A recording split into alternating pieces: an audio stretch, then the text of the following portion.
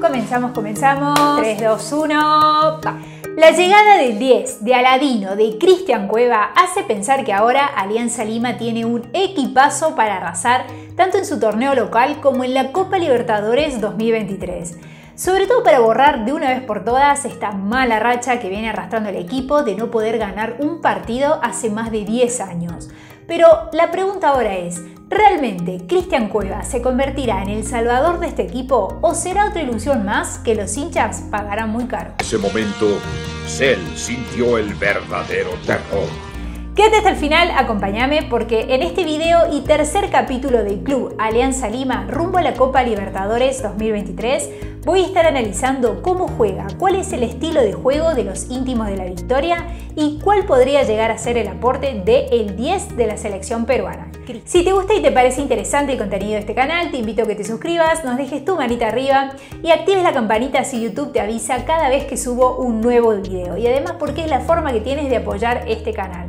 Así que ahora sin más, empezamos. Una de las preguntas más frecuentes, más recurrentes a miras, a puertas del inicio de la Copa Libertadores es ¿cómo juega Alianza Lima? ¿Cuál es su estilo de juego? Es una muy buena pregunta, la verdad, y no sé qué contestarte. Y cuando intentamos hablar o explicar acerca del estilo de juego de Alianza Lima, muchas veces tendemos a asociarlo con la tradición, con la leyenda, con la creencia del ADN del fútbol peruano, aquel fútbol habilidoso, creativo, vistoso, de gambeta, y más con la llegada de Cristian Cueva es como que a todos nos brillaron los ojos y además con el plantel que armó Alianza Lima ahora para poder competir en la Copa Libertadores, a todos seguramente se nos cruzó por la cabeza de que encaja perfectamente con este estilo de juego. Sin embargo, la cosa no es tan así.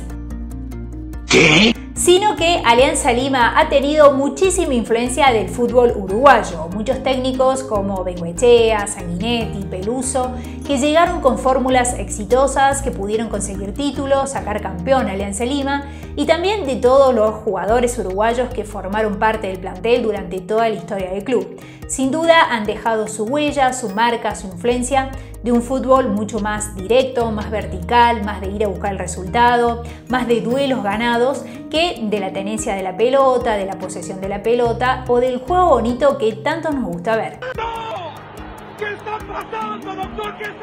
José Carlos Rojas, en su libro El fútbol de los íntimos, nos permite comprender mucho más este proceso de formación y consolidación del estilo de juego del Club Alianza Lima.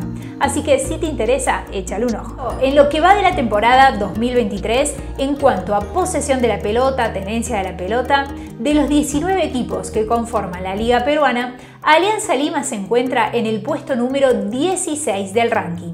Y en cuanto a duelos ofensivos, Pablo Sabac se encuentra en la primera posición con el mayor porcentaje. Por otra parte, el avance de la tecnología, del análisis de datos que se hace actualmente en el fútbol, inevitablemente ha permitido de que haya un trabajo mucho más técnico, mucho más especializado, más estudiado y que cada vez se vaya dejando más de lado este juego bonito que tanto queremos y que tanto nos gusta ver.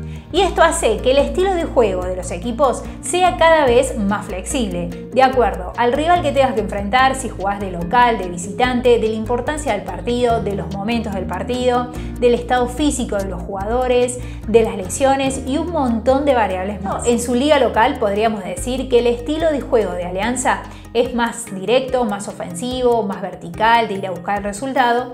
De hecho, en la temporada 2022, los íntimos de la victoria tenían el mayor porcentaje de ataque posicional con remate al arco que el resto de los equipos de la Liga 1, y en algunos casos hasta duplicando al rival. Pero la cosa comienza a ser completamente distinta, completamente diferente en torneos internacionales, en donde Alianza se enfrenta a equipos de mayor jerarquía. Por lo tanto, tiende más a defenderse o a neutralizar rivales que ir al ataque o ir a buscar el resultado. Y lo que hace que inevitablemente su fase ofensiva caiga drásticamente y que su estilo de juego tenga más que ver con replegarse o adquirir una actitud más defensiva.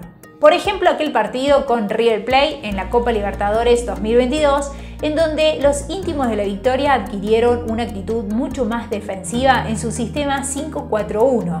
No había otra manera. Y con un porcentaje del ataque posicional con remate al arco del 14%, a diferencia del equipo millonario que lo hizo con un 47%. Bueno, este, mm, Seguimos. Por eso hoy en día tratar de determinar, encasillar un estilo único de juego y pretender a salir a jugar así en todos los partidos representa un riesgo muy grande y de hecho ya lo vivió en carne propia Alianza Lima porque hace más de 10 años que no pueden ganar un partido en este tipo de torneos, además también recibiendo goleadas importantes. Sí, sí, eso ya me lo dijiste. Ahora vamos a ver qué nos puede aportar Cristian Cueva en este equipo. Te cuento que mi Instagram estoy subiendo un montón de contenido saludable, de fútbol y algunas cositas de mi vida diaria. Así que te invito a que te pases por ahí, me dejes un hola y de paso me sigas. Todos sabemos de que Cristian Cueva no juega un partido oficial desde el 31 de diciembre del año 2022 además de que no está en ritmo competitivo, de que va a necesitar algún tiempo para poder adaptarse a este nuevo plantel y que sumado a ello es un jugador de más de 30 años, por lo que pedirle rendir al máximo en dos torneos paralelos y la verdad que sería mucho pedir. Con entrenamiento puede ser un X-Men. Según un estudio del laboratorio del Barca Innovation Hub acerca de la influencia de la edad en el rendimiento de los futbolistas, llegó a establecer de que aún no se sabe muy bien cuándo el futbolista alcanza el pico máximo en su rendimiento y cuándo a partir de este comienza a decaer. Sin embargo, llegaron a sacar algunas evidencias, algunas conclusiones en cuanto a la edad y el rendimiento. Una de ellas es que claramente hay una disminución del rendimiento físico de los jugadores mayores de 30 años con respecto a los más jóvenes. En cuanto a distancia total recorrida, sprint, velocidad máxima alcanzada, cayendo entre un 5 y un 30%. Sin embargo, en el rendimiento técnico-táctico parece ser de que este es mejor en jugadores mayores de 30 años con respecto a los más jóvenes. En cuanto a toma de decisiones, inteligencia en juego, el timing para poder manejar los partidos en los diferentes momentos, los pases completados, los regates, pases precisos, anticipación. Además también hallaron de que futbolistas con más experiencia, como en este caso Cristian Cueva, necesitan menos tiempo para poder adaptarse al nuevo club, al nuevo equipo y también de poder demostrar su mejor nivel desde el inicio.